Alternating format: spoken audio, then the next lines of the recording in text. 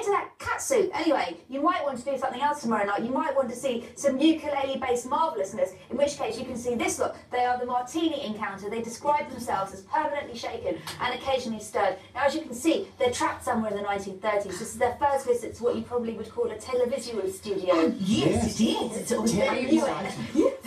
Okay, hello Martinis. Hello. Now I must just explain they will play ukulele later on, so that's why they're just here drinking at the moment, which is fine by me. Now we have got Maud, we have got Binky, and we have got Muffy. Who is who?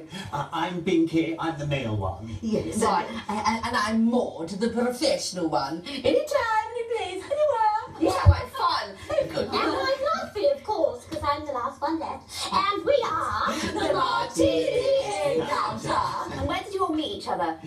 Well, we were busking uh, on the underground. It was during the Blitz. The And, uh, well, we just met over three ukuleles and we haven't looked back really, have That's we? right, Binky, yes. What is it about the ukulele that you love so much?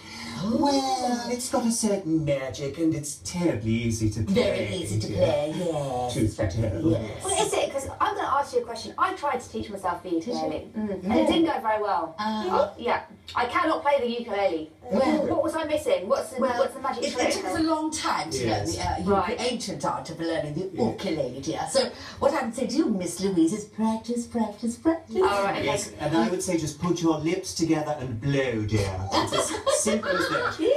If I blow my ukulele, something else might happen, but I'm not sure it's with the ukulele playing. Oh, and plenty of these, of course. How did you end up stuck in the 1930s?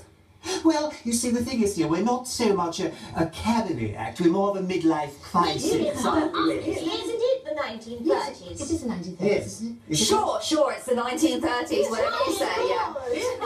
it? Where do you like to perform in London? Well, Well, Where? funnily enough, we're going to one of our favourite venues tomorrow night, Yes, aren't we? we are. Yes. We're going to the Pleasance Theatre. And that's tomorrow night, isn't it? that's, That's tomorrow right. night. Yes. Yes, for our new late night cabaret.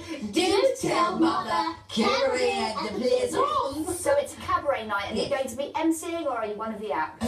Oh, we're doing both. Yes. Yes, we're emceeing and we're also uh, playing host to a number of marvellous acts who will be there alongside us. Oh, very good. Who else is going to be with you? Well, we have from the sublime to the ridiculous with more emphasis on the latter, Yes. certainly. But we have a marvellous magician called Dee Yes, Mr. D. Riley, yes. And a fabulous act called Timberlina, who will be there giving us an alternative character Yes. that he's developed especially for this evening. Yes, it's called That Boy Tim. Yes. And of course we have Ivana Bawash, Oh, the yes. virtuoso violinist. Oh, very good. So Yes. something for everyone. Now you're going to be playing for us at the end of the show. Just Yeah. tell me quickly what song you're going to be playing for us. Well, we've decided to play something from our more classical repertoire. Yes. Something by that beat combo called The Blur. The Blur. You may have Oh. heard of them. Yes, yes, I have heard of them. It's one of their hits. Okay, marvellous. wonderful stuff. We'll have The Blur uh, played later on in the show. Thank you very much, Martini Encounter. Now, though, my night with